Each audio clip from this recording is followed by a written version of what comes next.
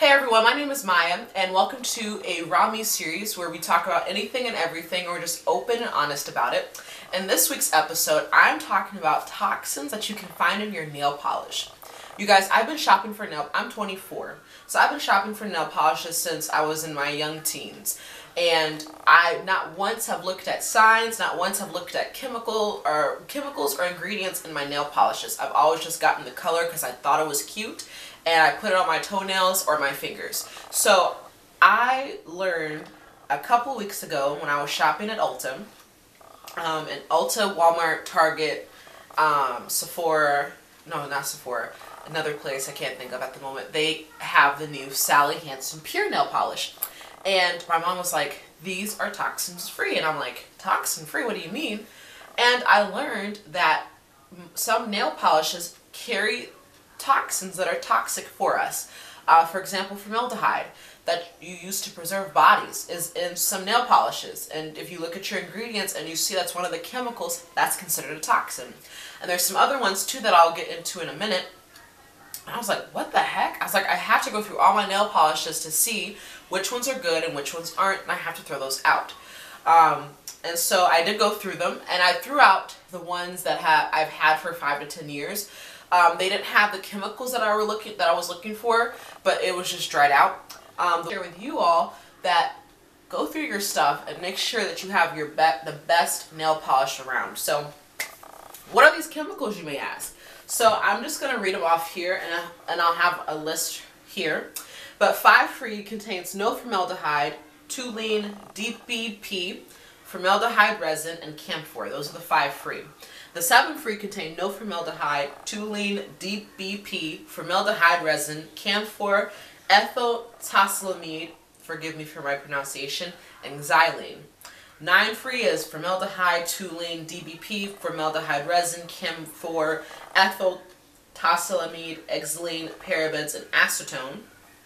And then 10 free uh, after acetone is TPHP, TBHP, and gluten. Um, so those are, and some go up to 14. Um, really, if you really just want to just make your own nail polish at this point, you'll know what you're putting in them. But, um, so I learned this and I was like, what the heck? I never paid attention to the signs. And so now what I did was when I go to Ulta, they have the signs that says nine free of toxins or seven free of toxins or uh, pure or it doesn't have this in it. And I was like, I've never paid attention to that. I've always just looked at the colors, saw, oh, okay, this costs $9. Do I want to pay for it? Yes or no? And if not, I put it back down. And if I do, I, I purchase it and I call it a day and I just paint my nails.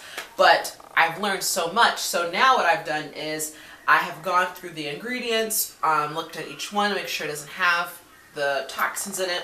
And if it doesn't, I've kept it. Some nail polishes that I that are good and have are free of some toxins. Um, and let's go ahead and get started. I am just sharing you sharing with you guys my thoughts. So this is Essie. Um, we all know Essie, and they just came out with a new line called Expressie. Um, and this is like a mustard color. It's actually called Taxi Hopping. So that's this, and this is called Yes I Canyon. I was looking for a fall color, orange, and so this is the closest I could find. Until now they have the orange that I was looking for, and I'm like, well, I needed that one, but it's fine. And so is really good. They are seven free of toxins, I believe, um, and they are great. So you're good to purchase those. Pacifica is seven free of toxins, and I have the Temple color, which is a light peachy color. And I also use, um, this is another Essie one, this is a Treat and Color Strengthener. My nails tend to chip, so this is really good to strengthen your nails. Um, OPI, I did some research on OPI and I found that they don't have the toxins. I would say up to between 5 to 7 they're free of the toxins that I mentioned. Um, and I like their brand. I don't think, you know, nothing harsh or bad on my end in, in, terms of using these. But I like their natural base coat. I did check the ingredients at the bottom and I didn't find the chemicals that I was looking for um, in here. So this is really nice. This is the uh, natural base coat. It's really good if you're into painting nails and you really care about your nails, it's good to paint them with the base coat. It protects your nails from yellowing. If you're really a frequent nail painter, you want to make sure you have it protected and then you can paint your color and then top it off with a top coat. And I love OPI's matte top coat. It, I love a matte look and it's very velvety and it's a nice finish for me and I enjoy that a lot. Uh, so those are the ones I kept. Um, LA is also free of the chemicals, 5 to 7. Um, and I love their gel color. This was um, at Walmart and it is a nice gel finish. It stays on for me for a week and it's really nice. There's no UV light needed, so if you're looking for a gel finish, you can check out LA. Sally Hansen was also uh, free of the 5 to 7 chemicals. Um, and so this one is the Complete Salon Medicure, or Manicure. Uh, it has a top coat, strengthener, base coat. It has all the things in one nail polish. So this is um, black and blue. I love this one. It's like an ocean color. Um, I also have the Insta-Dri, and this is the Grease Lightning, a grayish tone. Love this one as well. Um, and then um, some other things that I use. I use the Ultra Growth with Aloe uh, to grow your nails. So if you're looking for another strengthener, I got this in Chicago, but um, Walmart, Target, Sephora, Sephora, and Ulta and other places too that carry nail polish. You can find some strengtheners by Sally Hansen that are really good and moisturize your nails. Also free of the chemicals as well. I looked that up. I have another Sally Hansen strengthening top coat. Um, I've been using the matte one lately, but this is really nice um, for a nice finish. I find that my nails last longer, um, more than four days, and it doesn't chip um, after a couple of days, so this is really good too, the Sally Hansen Strengthener Top Coat. This one I got at Target. This is uh, a cuticle oil. This really helps to keep your nails moisturized. You can do it every day. You can do it once. A, uh, you can do it once a day. You can do it once a week. Um, but preferably once a day so your nails can stay moisturized. Your cuticles can stay moisturized. It's really great, and also free of chemicals as well. So those are the ones that I found were great. The free of the five to seven chemicals. Now, like I said, you have nine and ten free. You got 14 free do your research. Find out what nail polishes that would be best for you.